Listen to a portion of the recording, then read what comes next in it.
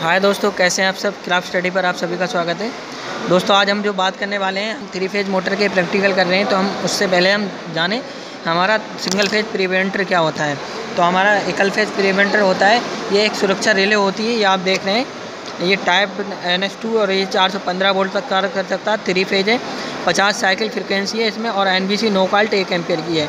तो इस तरीके से हम इसमें देखते हैं क्या होता है हमारा एक सुरक्षा रिले है जो कि थ्री पेज में एक पेज की अनुपस्थिति में थ्री पेज उपकरण को जलने से बचाता है। ये क्या करता है हमारा? एक पेज की यानी कि हमारे थ्री पेज मोटर में या उपकरण में एक पेज की मतलब अगर किसी कारण से हट जाता है तो उससे उससे हमें सेफ्टी करता है, यानी कि उससे हमें जलने से, उपकरण को जलने से बचाता है। ये सेफ्टी के दौरान फेजों में लगातार फीडबैक लेती रहती है। ये फेजों के फीडबैक लेती रहती है।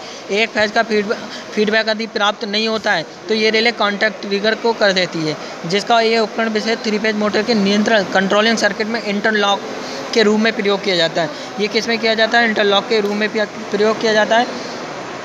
किसी एक पेज की अनुक्रियाशील होने पर यह थ्री पेज मोटर को प्रचलित रहती है परंतु असामान्य धारा को ग्रहण करने के कारण ये गर्म होने लगती है तथा इसकी बैंडिंग जलकर नष्ट हो, होने की पूर्ण संभावना रहती है।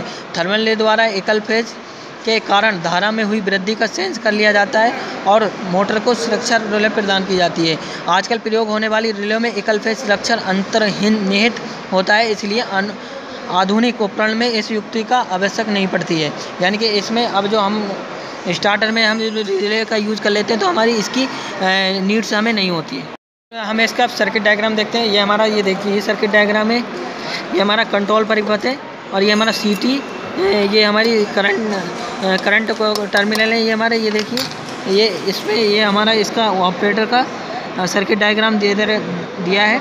ये हमारी कोयल्स है नो बोल्ट कोयल है हमारी। इस तरीके से ये हमारे ऑन ऑफ़ पुश बटन है। और ये हमारे ये इसके टर्मिनल कॉन्टेक्टर हैं। और ये हमारे मिडिल प्रिवेंटर के जो टर्मिनल हैं ये है।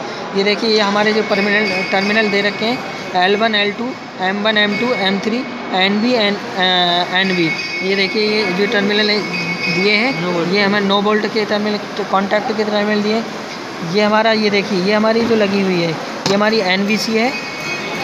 और ये देखिए, ये ये जो हमारे जो टर्मिनल यहाँ से यहाँ यहाँ के लिए निकले हैं, ये कुछ इस तरीके से ये देखिए, ये आपके निकले और ये आपका, ये ये कंट्रोलिंग सर्किट है पूरा, ये देखिए आप। इसमें बहुत सारे इलेक्ट्रॉनिक सर्किट है, ये हमारा पूरा इसमें सारे लगा रखे हैं। इस तरीके से अब हम इसके देखें, ये ऑक्जली कॉन्टैक्ट को हम क्या करते हैं? इसका कनेक्शन किस तरीके करते हैं? ये कंट्रोल परिपथ है ये हमारा जो कंट्रोल परिपथ है, ये वाला। उसके बाद में ये हमारा आर वाई भी हमारा फ़ेज़ आता है। ये हम यहाँ से लाइन देंगे, यहाँ से हमारा निकल के इसमें जाएगा। इसके बाद में थर्मल ओवर रिले में जाएगा। उसके बाद क्या होगा हमारा? थर्मल ओवर यहाँ से इस तरीके से हमारा ऑफ़ पुश बटन में जाएगा। ठीक है, ये हमारा ऑन पुश बटन है, ये हमारा एक टर्मिनल यहाँ से लेके ऑफ़ पुश बटन में जाएगा। और ऑफ़ पुश बटन का लेने कंट्रोल सर्किट में जाएगा।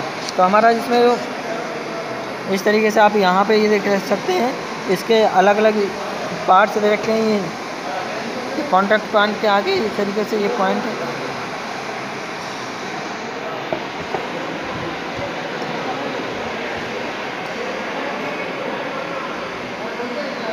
ये सारे पॉइंट आप देख सकते हैं।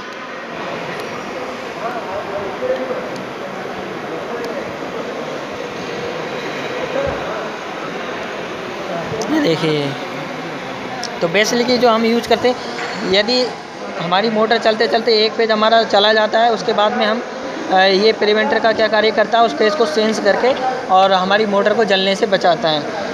और यही है ये सर्किट डायग्राम है इसकी। बदतमीजी कुछ ज़्यादा ही करते हमारे हमारे इसकी सेफ्टी दे रखी है हमारी क्या सेफ्टी है? Interchange M one and M three if the starter does not hold on यानी कि हमारा स्टार्टर ऑन नहीं होता तो हम एम वन एम थ्री को चेंज करें। और do not test mini lake without motor और by the adjusting parameter potentiometer on the printed card clockwise and the anti clockwise the unit can be the made desensitive and sensitive ठीक है? इस video में बस इतना ही।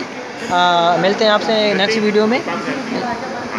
Video देखने के लिए आपका बहुत बहुत शुक्रिया। दोस्तों यदि आपको वीडियो अच्छी लगी तो वीडियो को लाइक करें और हमारे चैनल को सब्सक्राइब करें और अपने दोस्तों में वीडियो को शेयर भी करें।